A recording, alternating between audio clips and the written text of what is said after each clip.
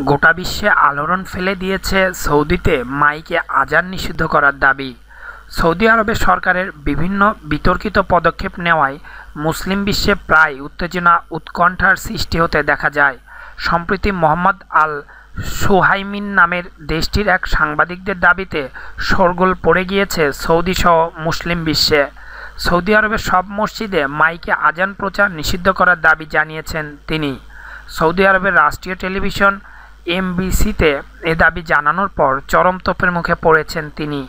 MBC টেলিভিশনে সাক্ষাৎকারে তিনি বলেন, উচ্চস্বরে আজান বয়স্ক লোক ও শিশুদের স্বাস্থ্যের ক্ষতি করে।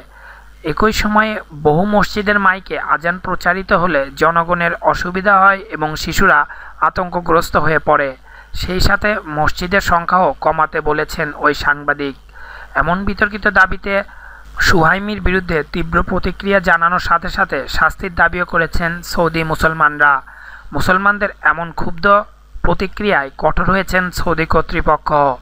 এ নিয়ে সৌদি গণমাধ্যমে রিয়াদ ডেইলি জানায়, জনগণের দাবির ওপর ভিত্তি করে সৌদি সংস্কৃতি ও তথ্য মন্ত্রণালয় ওই সাংবাদিকের ওপর লেখালেখি এবং কোনো গণমাধ্যমের কার্যক্রম যোগদানের বিষয়ে নিষেধাজ্ঞা আরোপ করেছে। এছাড়া তাকে একটি তদন্ত কমিটির মুখোমুখি হতে নির্দেশ দেওয়া হয়েছে। ইসলামের অন্যতম গুরুত্বপূর্ণ বৈশিষ্ট্য হচ্ছে আজান, যা মানুষকে নামাজ পড়ার আহ্বান জানায়। আল জাজিরার দাবি, সৌদি আরবের টেলিভিশন থেকে এ ধরনের সাক্ষাৎকার সম্প্রচারের উদ্দেশ্য সুবিধাজনক নয়। সৌদি সরকার মসজিদের মাইকে আজান প্রচারের ওপর সীমাবদ্ধতা আরোপ করার ক্ষেত্রে প্রস্তুত করার জন্য এ কাজ করে থাকতে পারে।